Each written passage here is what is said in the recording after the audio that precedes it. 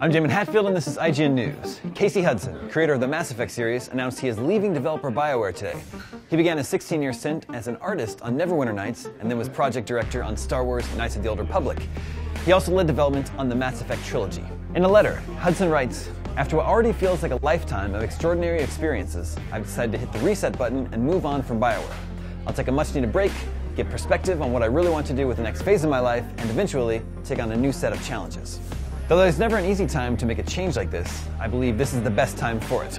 The foundation of our new IP in Edmonton is complete, and the team is ready to move forward into pre production on a title that I think will redefine interactive entertainment. Development for the next Mass Effect game is well underway, with stunning assets and playable builds that prove the team is ready to deliver the best Mass Effect experience to date.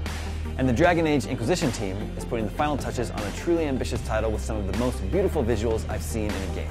We'll continue following this story here at IGN.